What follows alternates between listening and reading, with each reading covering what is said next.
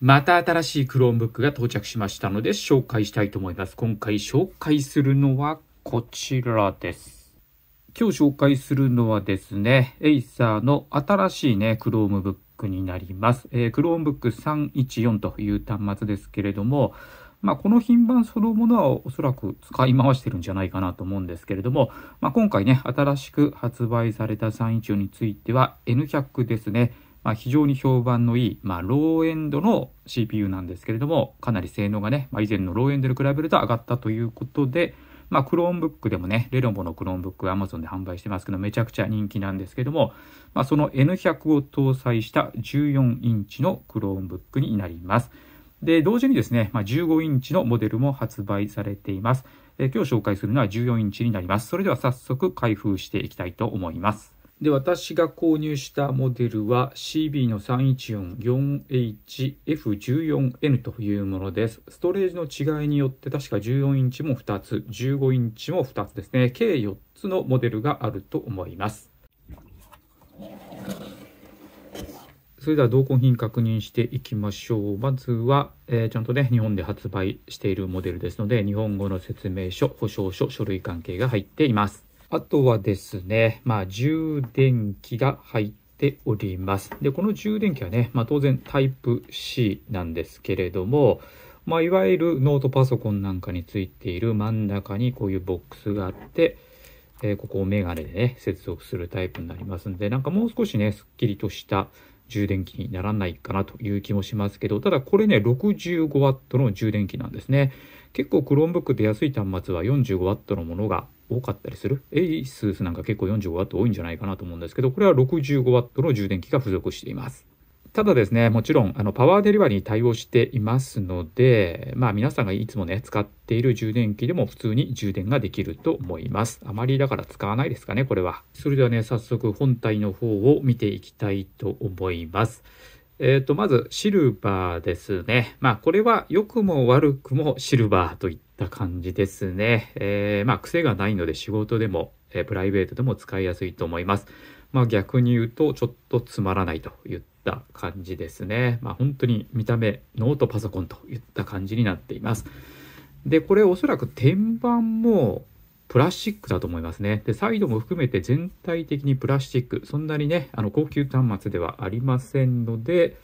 えー、まあ、おそらく触った感じはプラスチックじゃないかなと思います。まあ、なかなか最近ね、プラスチックでもアルミのように見えたり、アルミのようだけど、プラスチックに見えたりするのもあるので、ちょっとこの素材はちょっとよくわかりません。ただ、あの、商品詳細ページに特にね、詳細書かれていなかったので、えー、まあ、でも触った感じプラスチックじゃないかなと思います。で、この端末14インチなんですけども、14インチはおそらく見る規格に対応してますね。えー、ただ15インチはどうも対応していないようです。まあ、やっぱり大きくなってね、えー、自重がありますので、その辺で15インチは見る規格に対応していないんではないかなと思います。それではインターフェース関係見ていきましょう。まずタイプ C、えー、タイプ A、マイクロ SD カードスロットに、えー、3号のオーディオジャックですね。で、逆サイドにタイプ A、タイプ C にケンジントンロックですね。両側にだからタイプ A とタイプ C があるので、この辺は使いやすいと思います。で、HDMI はありませんね。まあ、最近はタイプ C で映像出力できますので、それほどね、必要ないかとは思いますが、まあ、HDMI はないタイプです。で、ヒンジの部分はこういう感じです。これはまあクラムシェルなので回転ヒンジではありません。ただここね、穴が開いてますね。N100 の Chromebook とか N100 のノートパソコンね、Windows とかでもありますけど、結構ファンレスが多いんじゃないかなと思うんですが、ちょっとここ開いてるんで、もしかしたらファンがあるのかもわからないですね。そこの方を見ても、あ、ちょっとここ穴開いてますね。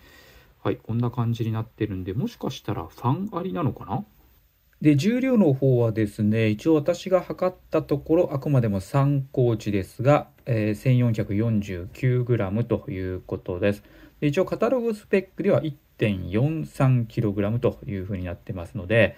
まあ14インチなので、えー、まあしょうがないかなと思いますけど、まああの軽くはないとは思いますが、まあ、こといって持ち歩けないわけでもないし、まあ14インチなんで、まあ、この辺はま妥当な数字かなと思います。それではね、早速開けてみました。中はこういう感じですね。中もシルバーで、キーボードは黒です。で、ベゼルも黒といった感じですね。まずディスプレイは、えー、非光沢のディスプレイになっていますね。まあ、ちょっと上に向けてみると、照明が入っちゃってますけど、ちょっと下が残ってる感じでしょうか。キーボードは当然日本語キーボードになってています。で、エイサーの端末ってなんか結構ね、エンターキーがしっかりと大きいものが私が持ってる端末ではね結構日本のモデルはあるんですけどもこれはなんかこう切った感じになってますねこの辺も、えー、この辺もですねキーボードを切った感じでいわゆる海外モデルに日本語のキーボードをはめ込んだ形のものですねこの辺もなんかスペースを切ったのかなみたいな感じになっちゃってるんでまあ、これは本当にねこの端末だけではなくて、えー、多くの Chromebook が今こういうキーボードになってるんで、まあ、これがダメっていうことはないんですけどもちょっとねなんか今までエイサーの日本のね端末って結構しっかりと大きいねちゃんとしたなんかエンターキーがついてるイメージがあったんでこれちょっとまあ残念かなと思いますがでもまあ普通ですね。で、キーボードはですね、もちろんこれ好みがあるので、で、あくまで体感なんですけど、結構なんかしっかりと押し込む感じのものになってるかなと思います。トラックパッドはね、こういう感じですね。ちょっとこう縦に長いというか、正方形に近いようなね、えー、感じになってます。で、割と滑りはいいですね。 Acer のあの結構上の端末って、このね、トラックパッドいいんですけど、まあ、これもね、そんなに高い端末ではないんですが、比較的、えー、同じ価格帯の Chromebook にしてはいいんじゃないかなと思います。まあ、プラスチックだと思いますけど、非常に滑りはいいですね。それではね、早速立ち上げてみましたけれども、ディスプレイの感じはこんな感じですね。えー、先ほども言いましたけれども、まあ、ベゼルの方は、まあ、標準的ですかね。文教モデルみたいにめちゃくちゃね、厚く残ってるというわけではありませんが、えー、めちゃくちゃ細いというわけでもなくて、下はそれなりに残ってるといった感じです。で、ディスプレイの解像度は 1920×1080 ですね。フル HD になっています。えー、ただ初期のデフォルトの状態では 1536×864 という解像度ですね。まあ、この解像度になっているんですけれども、ちょっとフル HD にしてみましょうか。えー、まあ、ネイティブ表示ですね。えー、あ、これがネイティブ表示です。まあ、ネイティブでも使えなくはないかなと思いますけど、まあ、ちょっと小さいかな。もう一段階ぐらい、えー、上に上げた方が、90%ぐらいの方が見やすいかもしれません。一応最大で70%、えー、表示上の解像度は 2194×1234 という解像度でも一応利用ができます。ディスプレイの方はま非光沢ということなので、若干ですね、ちょっと白ぼんやりしてるディスプレイ、よく文教モデルなんかにある、えー、あまり品質の高くないディスプレイがね、Chromebook には結構あるんですけども、まあ、そこまではいかないけど、あまり品質的には良くないかなという感じはしますね。一応、あの、販売ページといいますかね、メーカーの、えー、スペック表については、えー、IPS 液晶というふうに書かれていましたけれども、まあ、おそらく、まあ、IPS は IPS でも、ちょっと下のランクのディスプレイなのかなという感じがします。まあ、いわゆる文教モデルのね、本当に白ぼんやりよりは、まあいいとは思いますけれども、まあ全体的にはね、こうめちゃくちゃ綺麗なディスプレイの、えー、 Chromebook っていうのはもちろんね、上の端末になればあるんですけども、そういったところまでは当然行ってませんので、まあ、あくまでも、まあ、比較的安い Chromebook のディスプレイ、かつ非光沢ということで、あんまり発色はこうパリッとはしてないかなという感じです。それではね、視野角見ていきましょうか。まあ、こんな感じですね。まあ、よく白ぼんやりするやつはこう真っ白になっちゃったりする感じなので、なんかそれとはちょっと違うのかなという感じですけども、まあこんな感じですね。まあまあ価格考えればこんぐらいかなというところはありますけれども、それではですね、比較として、まあ非常にディスプレイの評判が悪かったレノボの 14E が右側です。こちらですね。はい。やっぱりレノボの 14E と比べると、やっぱこっち白くなってますよね。まあこちらは、まあ若干白いですが、まあ、レノボよりはいいという感じです。それでは視野角見ていきましょうか。先ほど言った通り黒くなりますね。で、こっちはやっぱ白くなるということなんで、まあだからレノボに比べればいいよね。はい。まあこんな感じ。レノボやっぱすげえな。これやっぱやばいな。はい。こちらまだ残ってますもんね。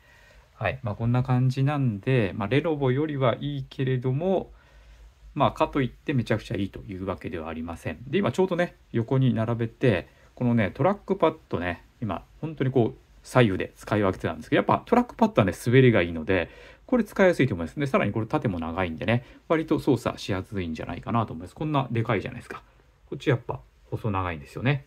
はい。この違いは結構あるかなと思います。まあ、ただキーボードはやっぱレノボの14いいのがいいですよね。エンターキーもでかいし、この辺もしっかりと分かれているので、まあ、こちらの方が使いやすいんじゃないかなと思います。だからちょっとキーボードがね、うん、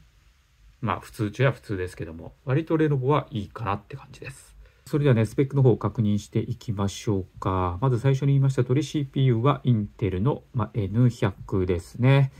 で、あとはメモリーの方は、ま 4GB ということで、基本的には、まローエンドの Chromebook ということになります。それではですね、オクタンベンチマークやってみました。スコアの方は4万4000点ということで、N100 らしいスコアになっていると思います。まあ大体4万5000点から良ければ4万8000点ぐらいまで出ます。えレノボの 14E はね、えー、同じ N100 搭載してますけど、あんまり出なくて4万2000点ぐらいしかいつも出ないんですけども、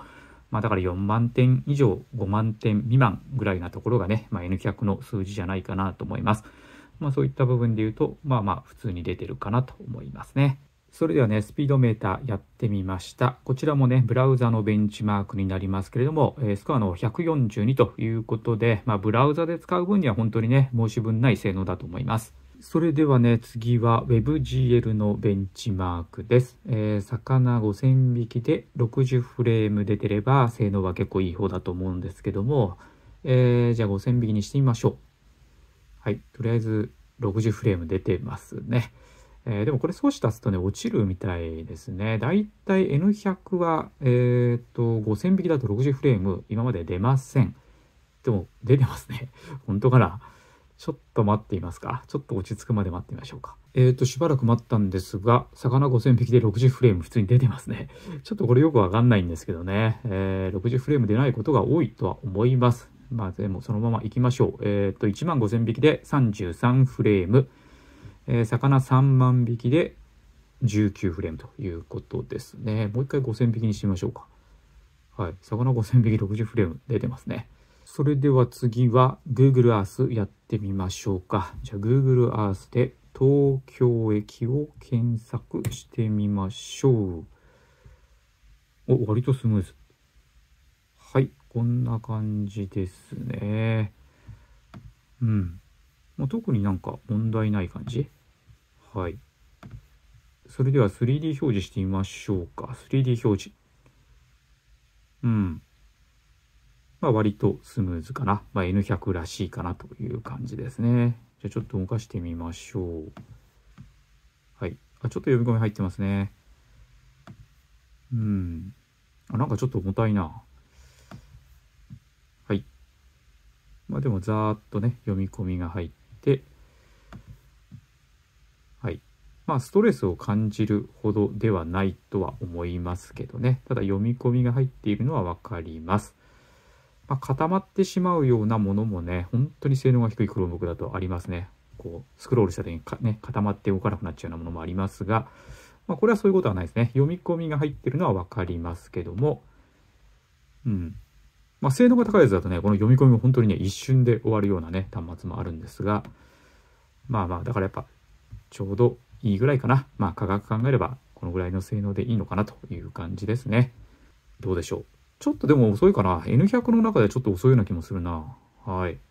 えっ、と、今ですね、この Google Earth 3D でね、まあ、要は負荷がかかったんでしょうね。あの、ファンがね、回り始めました。まあ、また止まっちゃったんですけども、まあ、だからやっぱりこれってファンレスじゃなくて、ファンありですね。えー、でもほとんど回ってないに近いと思います。まあ、気づかないぐらい。回ってたとしても気づかないし、まあ、もしかしたら回ってないっていうこともあるのかな。ほとんど気にならないんですけども、ただやっぱりさっきね、Google Earth で 3D 表示して、まあ、ちょっと辛くなったのか、ファンがね、回って少し回ると音が聞こえる。今まで全く聞こえなかったんで、逆に回り始めると、あ、ファンもあったなっていうのが分かりましたので、やっぱりね、ヒンジの部分にね、あの通気口って言いますかね、穴が開いていましたし、底面にもね、開いていましたので、まあ、やはりこの端末はファンレスではありませんね。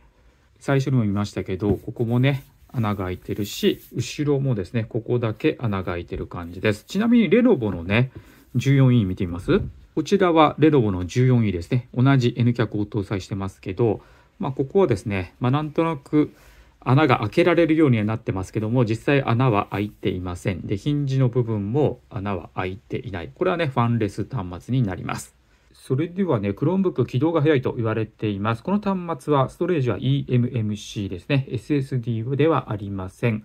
まあ、それでもね、まあ、どのぐらいで起動するかちょっと久しぶりにやってみましょうか。N100 Chromebook、どのぐらいの起動速度でしょうか。いきますよ。せーの、ドンまあ、ログイン画面が出るまでで行ってみたいと思いますね。はい。今、ロゴが出ましたね。そんな早くないな。はい。まあ、12秒ということなので、まあ、 Chromebook としては平均的ですかね。まあ、文教モデルなんかでもやっぱ10秒台、11秒とか12秒で起動しますんで、まあ、eMMC だし、まあ、大体安い Chromebook は、まあ、十数秒、12、3秒の端末が多いんじゃないかなと思います。まあ、それでも性能とかね、Windows と比べればだいぶ起動速度は速いと思います。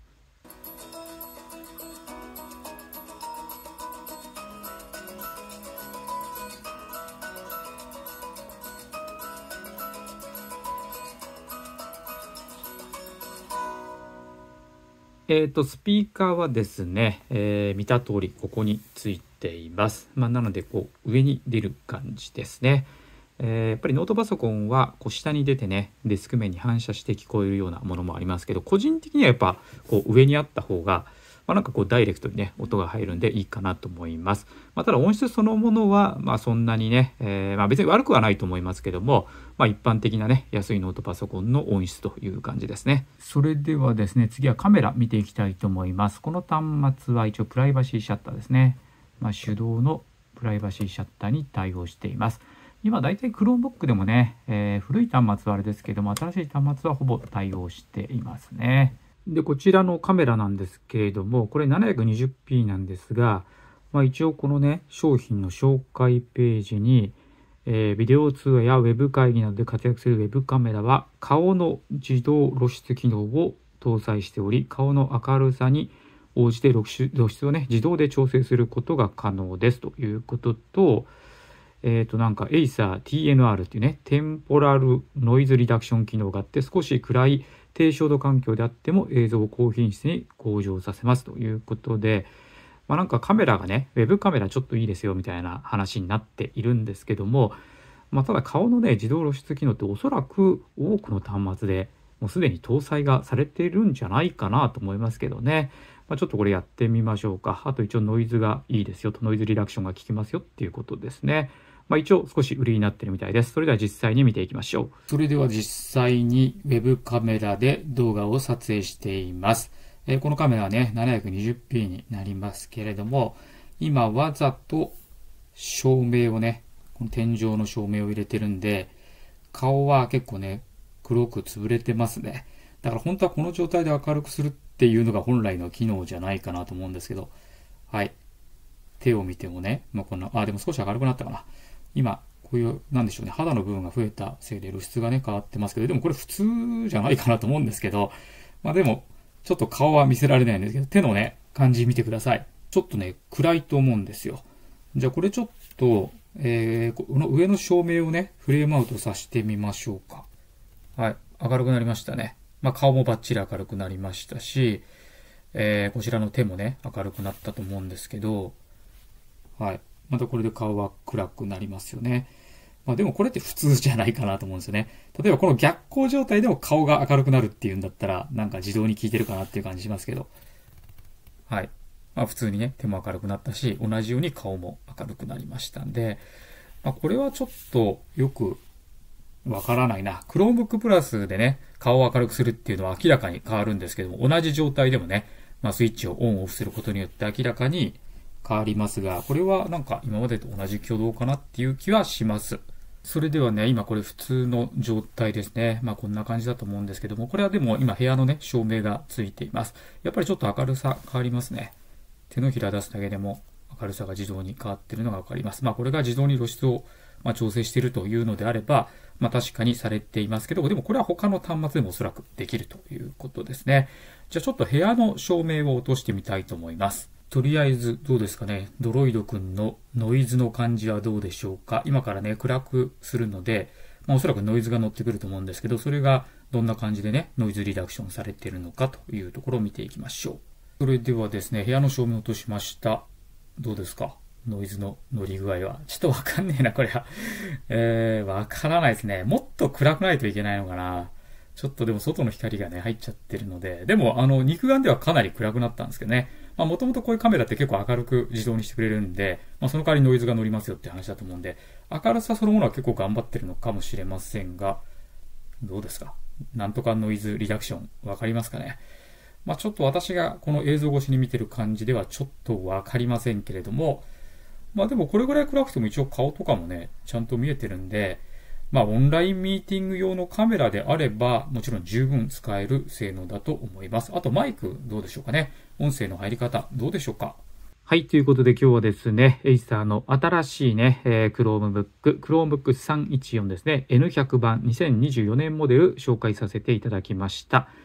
まあ、気になる価格は49,800円。まあ、これ発売した当初の価格ということになります。私は Amazon で買ったんで4万8000円ぐらいでしたけど、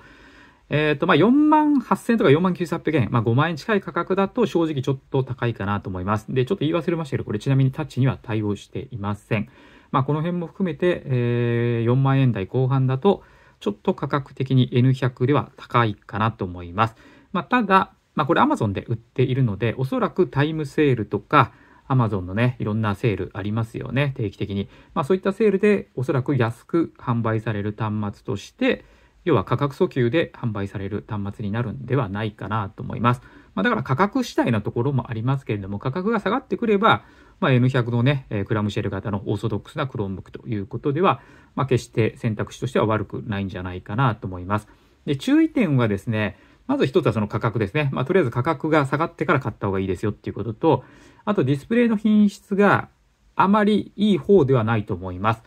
えー、文教モデルとかに使われてるものよりはいいですけれども、まあ、かといって良くもないし、で、あとディスプレイが大きくなると、やっぱそういうのが気になり始める。11インチの Chromebook だったら、文教モデルだったらそんなに気にならないんだけど、やっぱり画面が大きい分ね、えー、その色の再現性とかね、色味とかそういうの気になり始めるので、まあ、その辺がちょっと気になる人はいるかもしれないですね。決して良くはないといった感じです。あとはですね、あの、ファンレスではないっていうことですね。やっぱり N100 のまあ、Chromebook、まあ、Windows のパソコンも含めて結構ファンレスの端末が多いんじゃないかなと思います。えー、やはり持ち歩く端末なんでね、そのファンが回ってほしくないという方もいると思いますんで、まあ、そういった部分でこの端末はほとんどね、回ってないと思うんですけど、ただやっぱファンが搭載されていて、え負荷がかかるとね、ファンが回る。実際 Google Earth やってる時に回ってましたので、まあ、その辺がもしかしたら気になる人がいるかもしれないね。ファンレスが良かったという人がいるかもしれませんで、ここはね、まあ、ちょっと注意をしてください。で、あとですね、これ14インチと15インチがあるんですね。同時に発売されました。で、15インチはもちろん画面サイズが違うということと、あとテンキーがね、つくんですね。これ14インチにはテンキーないんですけど、15インチはテンキーがつくんで、テンキー付きの、まあ、クロームブックが欲しいという方は、やっぱ15インチクラスのね、クロームブック探してると思うんですけど、ただね、注意点はね、これどうもディスプレイがこのディスプレイはあんまり良くないって言ったじゃないですか。ただ15インチはさらに解像度はフル HD なんですけど、どうも TL 液晶っぽいんですよね。これはですね、このメーカーのね、商品紹介ページのところに、まあ今回4機種ね、このストレージの違いによって販売をされたんですけども、このディスプレイサイズっていうところを見てください。14インチは IPS フル HD って書いてあるんですけど、15.6インチについてはフル HD としか記載がないんですね。こちらね、14インチの端末の商品ページになるんですが、このディスプレイのところね、ディスプレイとグラフィックスっていうところに、これは IPS ってちゃんと書かれてるじゃないですか。だから14インチは IPS なんですよ。こちらは15インチのモデルですね。15インチはちなみに57,800円なんですけども、こちらはですね、ここ見てください。液晶のね、さっきのディスプレイとグラフィックス、液晶の種類っていうところに、TN って書いてあるじゃないですか。ツイストネマチックっていうんですかね、ちょっとわかんないんですけど、で、マットっていうのはおそらくあの非光沢のね、ディスプレイっていうことだと思うんですが、まあ、どうもこれを見ると、あのさっきのスペック表を見てもですね、おそらく15インチの端末は TN 液晶の可能性がありますよね。私は買ってない。すいません。買う予定もないんですけども。だから実機であの比較することはできないんですが、ちょっと15インチはもしかしたら怪しいかもしれないので、これは注意ですね。で、さらに画面が大きくて TN 液晶っていうと結構ね、気になる方もね、えー、多いと思いますんで、15インチモデルを購入される方はちょっと注意をされた方がいいんではないかなと思います。ということで今日はですね、エイサーの新しいね、クロームブック、N100 を搭載したクロームブックですけども、クラムシェル型の結構スタンダードなね、クロームブックだったんですけども、まあ、とりあえず価格が下がってからということになると思います。で、私のチャンネルではね、こういった安売り、クロームブックのね、安売り情報なんかも合わせて紹介をしていますので、えー、クロームブックに興味がある方はぜひね、チャンネル登録の方お願いします。また新しいね、クロームブックの端末も、まあ、なるべく買え買えるものについては、えー、購入して紹介しようと思っていますので、Chromebook に興味がある方はぜひチャンネル登録の方お願いします。はい、今回は以上です。